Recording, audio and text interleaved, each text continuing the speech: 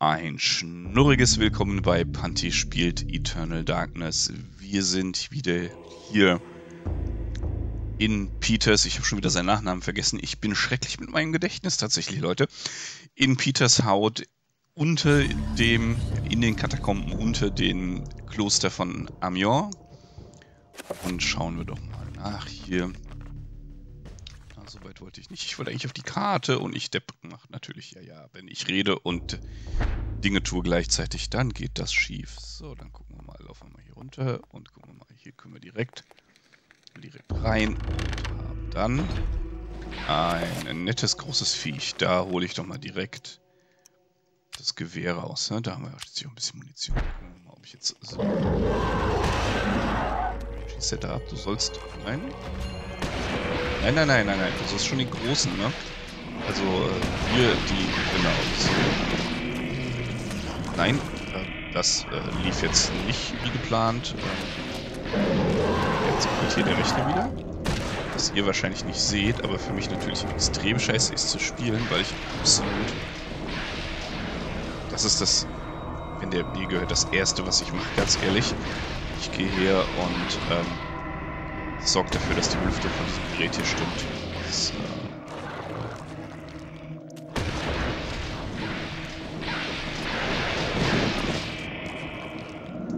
ist er getroffen worden oder während ich geschossen habe? Ja, ja, genau. Wieso, wieso lockt er nicht auf den Gegner, wenn ich drücke? Also ich habe jetzt tatsächlich äh, mir keine Mühe gegeben, irgendwie äh, Heilung und so weiter, weil bei dem Geruckel kannst du nichts machen. Und es ist halt wirklich, also ich kann hier die, die, die komplette Maus von Windows ruckelt. Das heißt, das hat nichts irgendwie mit Encoding, Grafikkarte, sonst was zu tun, sondern wirklich äh, im Kernel ganz unten drin ähm, ist schon, also selbst Kernel-Time ist, äh, äh, ist hier äh, im Arsch. Ähm, ich kann hier wirklich nur warten und ich nehme an, dass einfach der Prozessor runterregelt. Und äh, jetzt bewegt sich die Maus wieder flüssig. Das heißt, jetzt laden wir einfach nochmal neu und probieren es einfach nochmal. Ja, so ein Mist passiert halt. Genau, Nintendo, das ist der Hersteller von dem Spiel.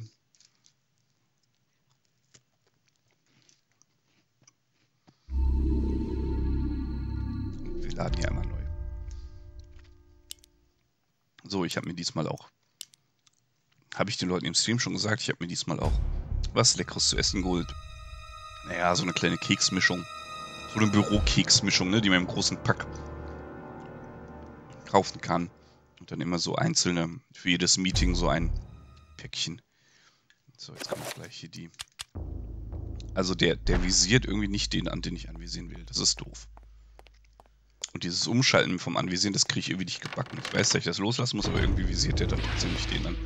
Also ich sehe hier auch nicht, wen der anvisiert, ne? weil das ja in die Kamera Jetzt haben wir zumindest den richtigen. Wie wird das? Dann wird erst mit dem da den Kopf weg. Dem da. Eins, zwei, drei. Sollten doch eigentlich die drei Köpfe weg sein. Das ist bisher immer das gewesen, dass der...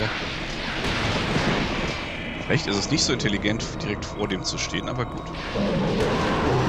Da haben wir es doch so Finalschlag nehmen wir aber das Schwert, ne? Zombies an und der steht sofort ein bisschen Zombie auf. Hier so.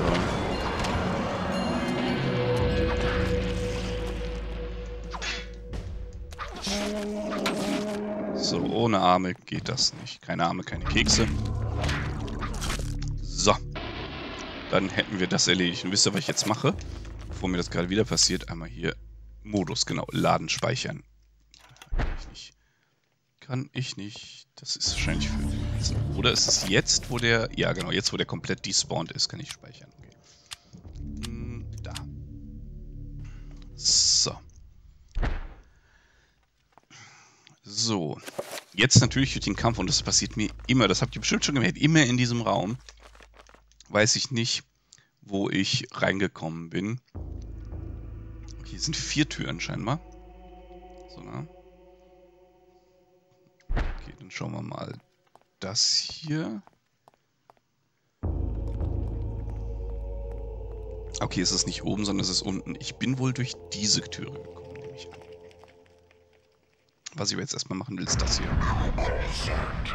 Ein bisschen Lebensenergie.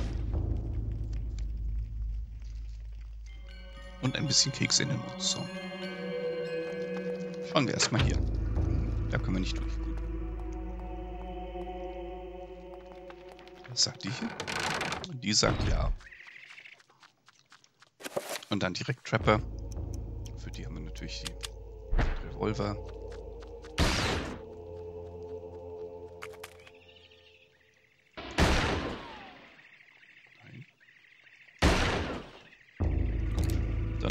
Laden und müssen mal gucken, wo er ist.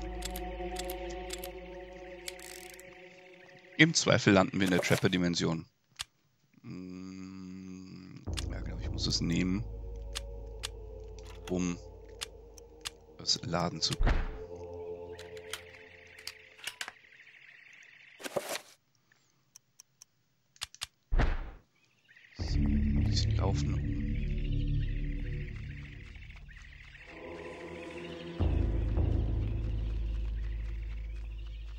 Ja jetzt doof, weil ich muss jetzt darauf achten, langsam zu laufen, dass der mich nicht bemerkt.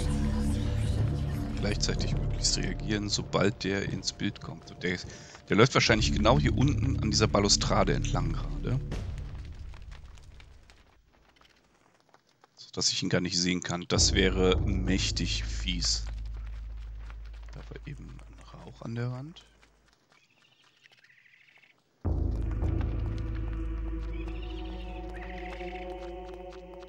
Ah nein, okay. Dann sind die wohl hier irgendwo. Ja.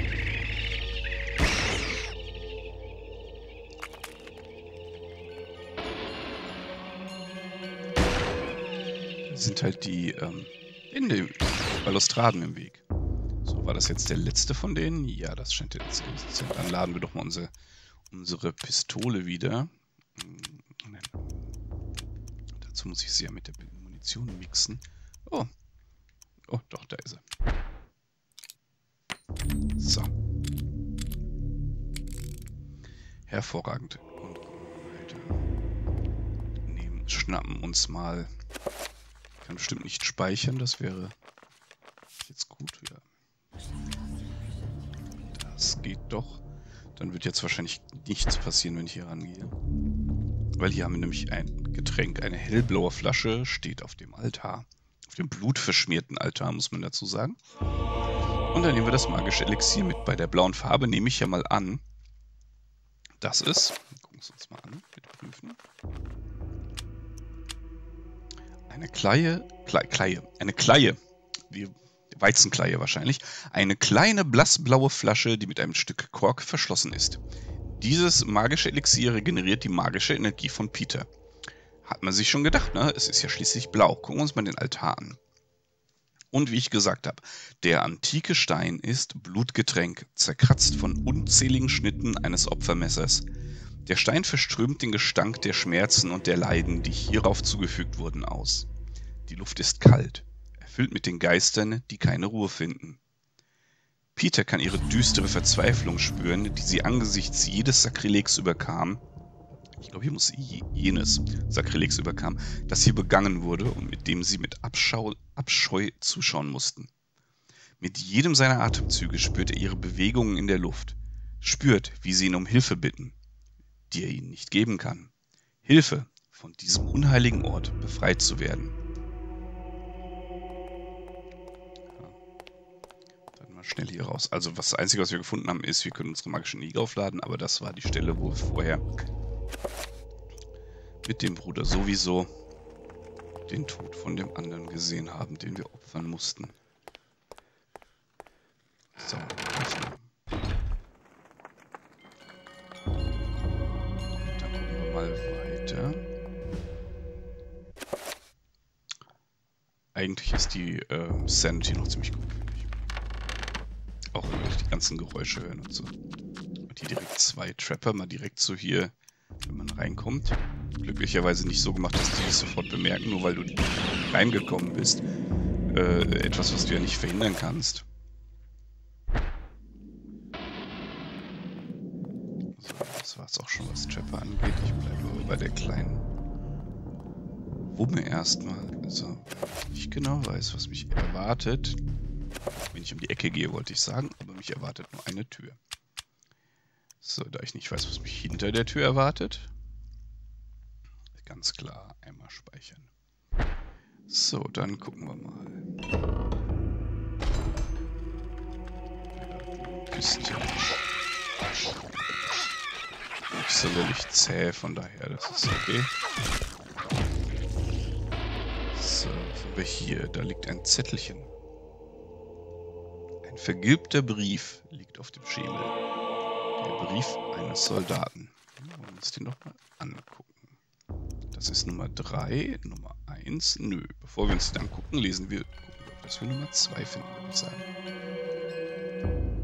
Reihe um Reihe sind hier Bücher aufgestellt, die sich okkulten Überlieferungen und obskuren Wissenschaften widmen.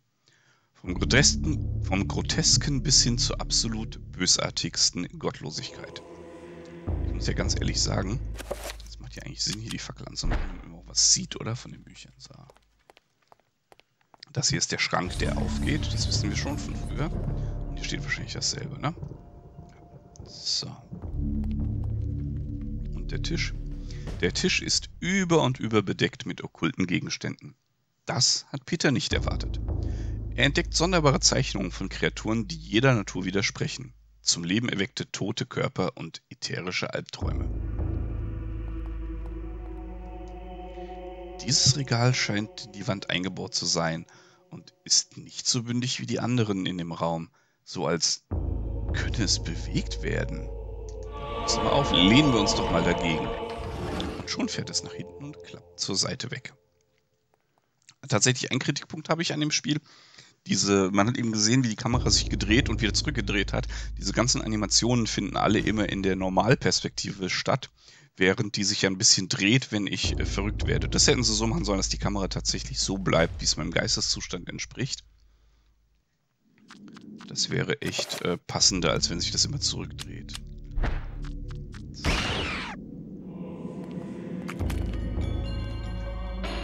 Das war eine Ratte.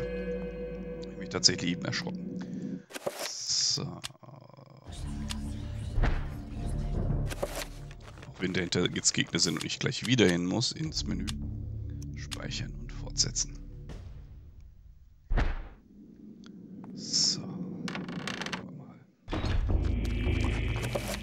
Das sind die dicken Zombies. Äh, eigentlich, eigentlich sind das doch die sind das nicht die Zombies, die ich... Naja. Das ist nicht lang gehalten.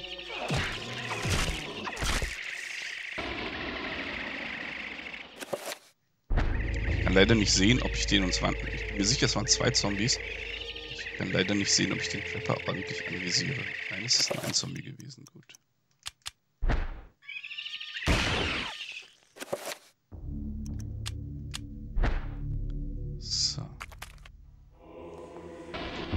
jetzt überall lilane Kerzen aufgestellt, während ich hier, ähm, ich bin mir sicher, beim letzten Mal waren hier keine lila Kerzen. Würde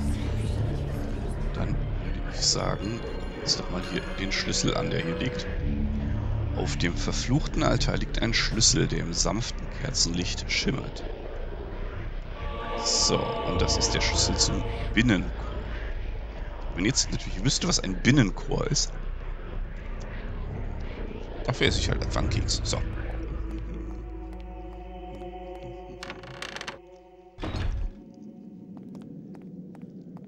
Ach, das ist... Also ich nehme ja an, Binnen... Das ist wahrscheinlich das, was unter dem Chor ist. Und der Chor ist halt einfach ein Teil, also Teil des Gebäudes. Und damit müsste das der natürlich die Tür sein, in die wir nicht reinkamen. Aber so genau weiß ich das nicht, was, was jetzt der Begriff Binnenchor bedeutet. Aber ich denke, das ist der Schlüssel für diese Tür. Ja, ich könnte ihn noch direkt verwenden können, aber erstmal speichern. So.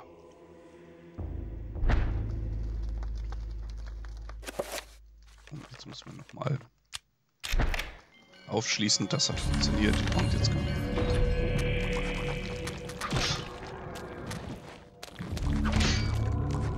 genug Zeit eigentlich hier ihn da zu machen, zumindest beim ersten.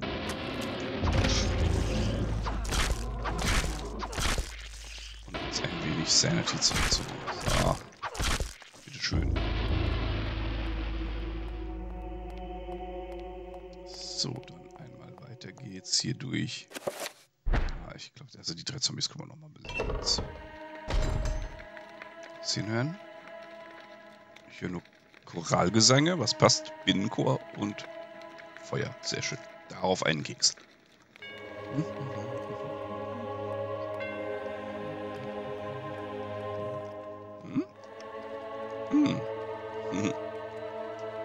Der starre und kalte Körper eines Soldaten liegt auf dem Boden.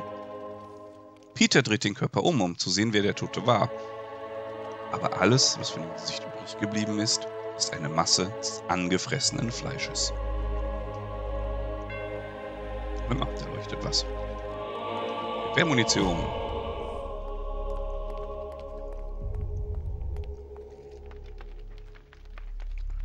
Das ist tatsächlich der gleiche Text. Ist ein bisschen schade. Und hier haben wir noch einen Zauber, einen Lichtzauber, so wie es scheint. Da ist eine Sonne drauf. Nein, magische Attacke. Magische Attacke. Projizieren Areal.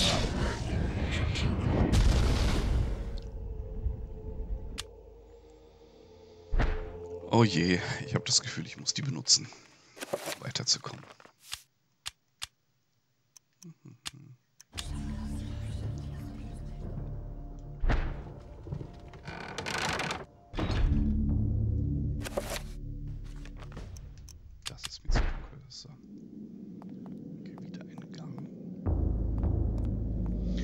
Würde mal sagen, das hier hinten ist jetzt am Ende des Korridors befindet sich eine kunstvoll gestaltete Tür. Ihre Dekoration unterscheidet sich von denen der anderen Türen in der Kathedrale. Peter spürt mit all seinen Sinnen die Präsenz des Bösen hinter dieser Tür. Als er sie öffnen will, schleicht Furcht durch seine Eingeweide und besetzt seine Seele. Okay, also wenn wir die Tür jetzt öffnen, dann sind wir in diesem Raum mit dem, ähm, mit dem Wächter, bin ich mir ziemlich sicher.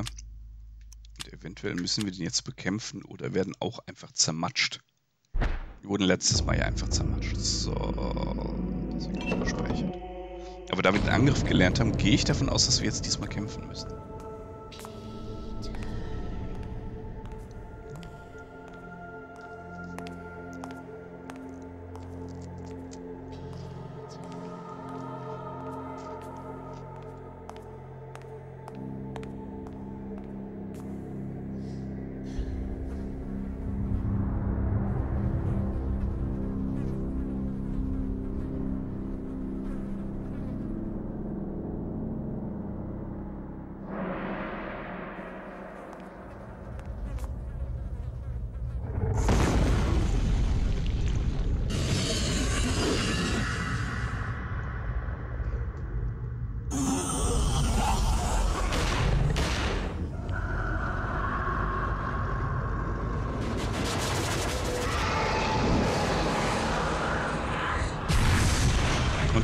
Verhindert, dass wir weggehen.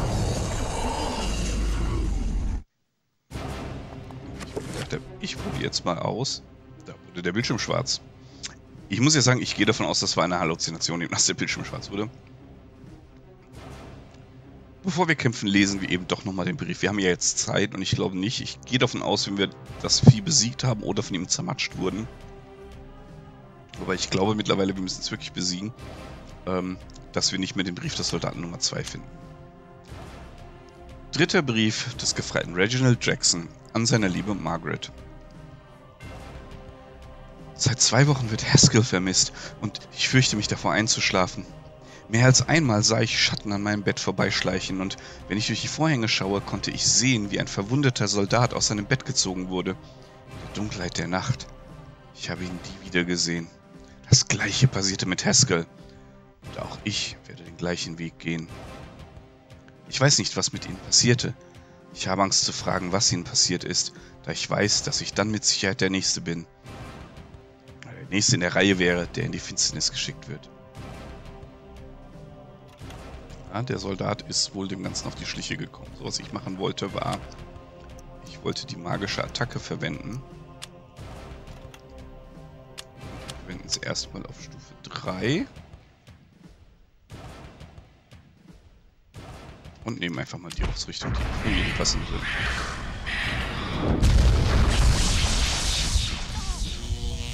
Okay, der kann uns festhalten mit einer Attacke. Kann ich, ähm, also das war nicht nah genug dran, eindeutig. Kann ich, kann ich einfach schießen?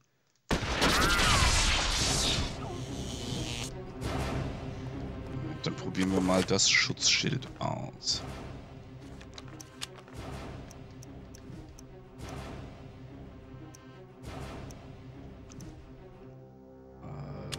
Schild. Stufe 5. Das ist ziemlich wurscht, oder? Okay, wir haben also ein Schadensschild. Das war das falsche Schild, der den ich nehmen wollte. So, ich muss mich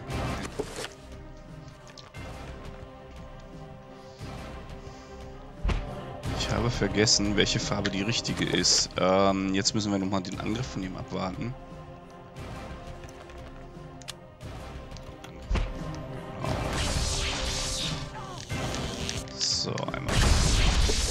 War das? Das hat so ziemlich reingehauen. Aber ich probiere die magische Attacke nochmal.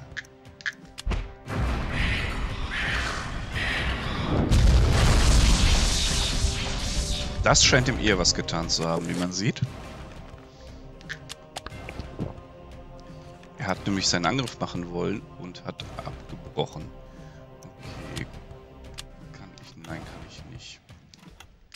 Will gucken, ob ich die in 1 stärker machen kann. Das wäre Entorbok und Red Gomorrah. Entorbok und Red Gomorrah. Ja, Leute, ihr wisst, ich kann mir nichts merken. Das ist egal.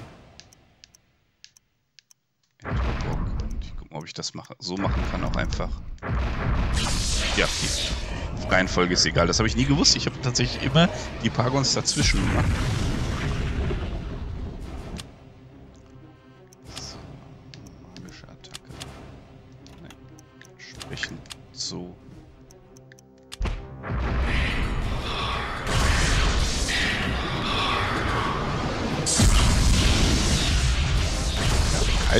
Ihm das Schaden zugefügt hat oder nicht. Ich kriege kein Feedback oder so. Aber er hat uns keinen Schaden zugefügt.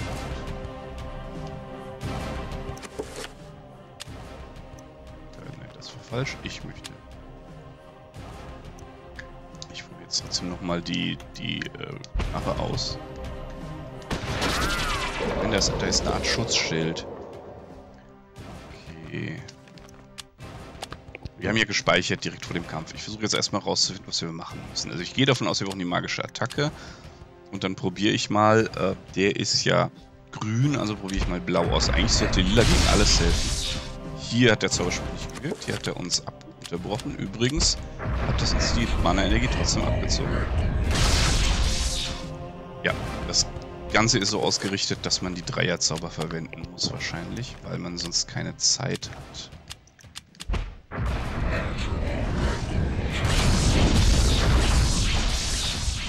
Auch nichts gemacht, oder? Dieses mit Aufheben. Wie ist es mit Aufhebung? Aufhebung.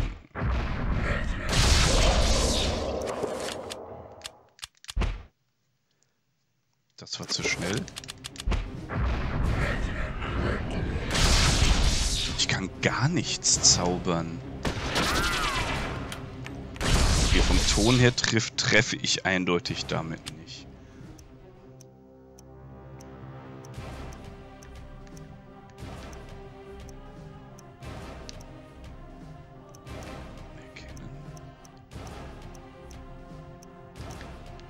Tatsächlich ich gerade mit den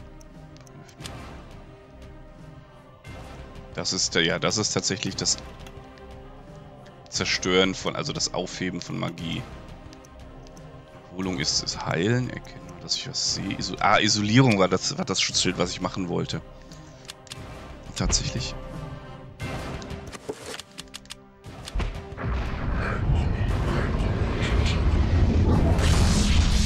Das war das, was ich wissen wollte. Also trotz des Schutzschilds kann er mich noch, äh, kann er mich noch treffen. Okay. Ja, Leute, ich gucke jetzt, also ich versuche jetzt wirklich einfach nur rauszufinden, was irgendwie was tut und was nicht.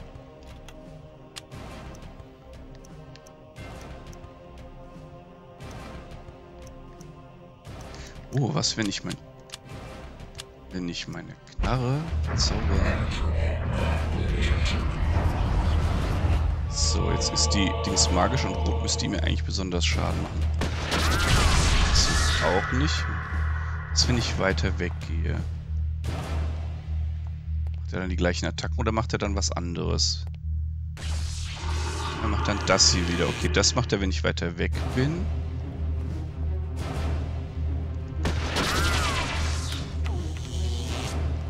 Und das zieht mir auch keinen Schaden ab, das hält mich nur fest.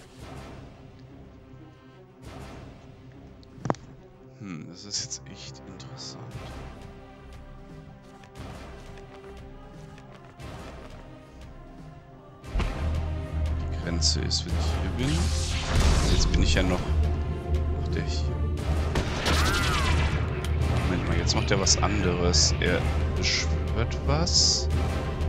Das ist, wo sein Kopf ist. Kann ich dann vielleicht sein... Nur noch das hier. drei Dinger. Ich versuche jetzt also rauszufinden, ab wo er die andere Attacke macht.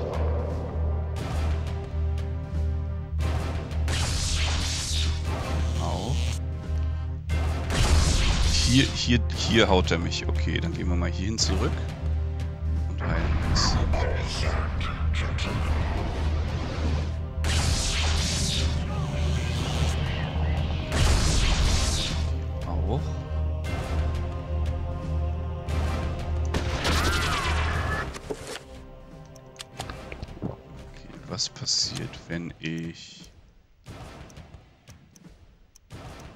Jetzt, wo er lange braucht, die, die ich gehe jetzt mal Risiko ein. Ich mache jetzt die magische Attacke. Und da weiß ich schon wieder nicht, was das erste war. Ähm, Antaubock und Red. Okay. Ich mache die magische Attacke mal in meinem ganz großen Zirkel. Ganz großer Zirkel. Also projizieren und Areal. Dann machen wir so ein Ding. So. Genau, und jetzt muss ich nur noch warten. Warten, bis die Energie sich aufgeladen hat. Das hier funktioniert, also ich kann hier nicht wegrennen. Ne? Das ist... Ah! Das ist nicht nur das, der holt sich zu... holt mich zu sich damit. Ich laufe dann... Ich laufe dann zu ihm. So, jetzt macht er das hier jetzt probiere ich mal aus, ob ich die Zeit habe, das zu machen.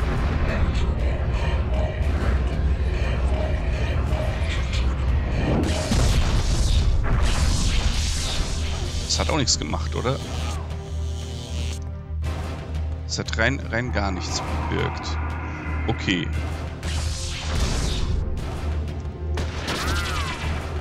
Der hat hier... Also, ja hier Irgendwas muss ich mit...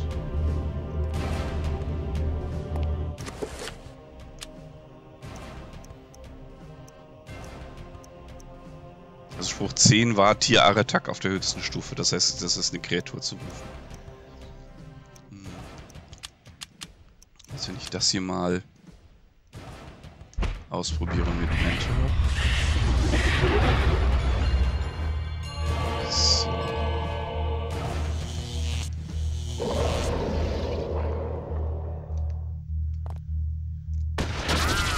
Der hat, der hat eine Art Schutzschild.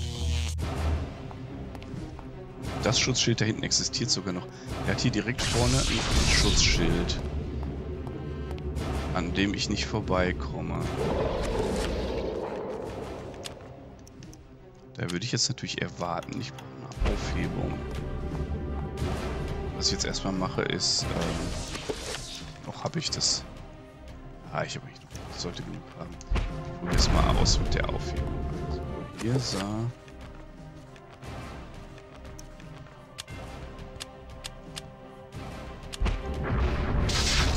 War jetzt sehr unklug.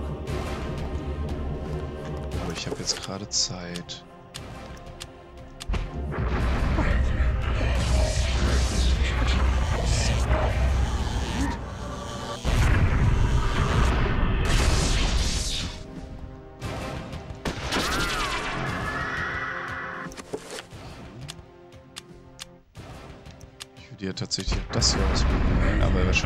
Zeit nicht dafür, das zu sprechen. Ich weiß, das bricht, der bricht nicht.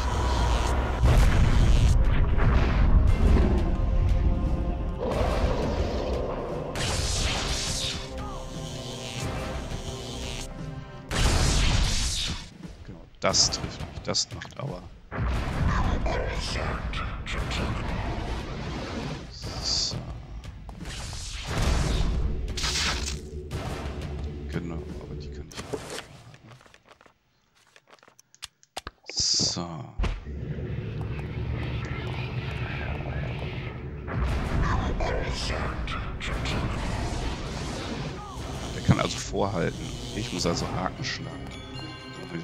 Zurück?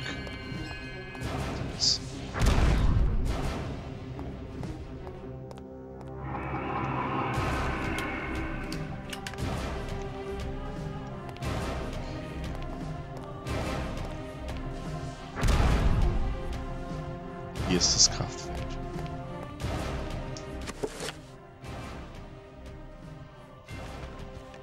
Hm. Ich würde sagen, ich mache jetzt mal hier die, unterbreche die Aufnahme und informiere mich mal, was bei dem die Lösung ist. Ich habe keine Ahnung. Irgendwie kriege ich es gerade gar nicht. Und ich glaube, das ist für euch nur langweilig, wenn ich jetzt hier total frustriert am Rumlaufen bin und am Gucken bin, was ich machen könnte. Gefühlt habe ich schon alles ausprobiert. Und wahrscheinlich sehe ich einfach den Wald vor lauter Bäumen nicht und die eine Sache, die ich noch nicht ausprobiert habe, fällt mir einfach nicht ein. Deswegen sage ich jetzt erstmal Ciao Miau, wir sehen uns nächste Woche und dann weiß ich hoffentlich, was zu tun ist. Also, Ciao Miau.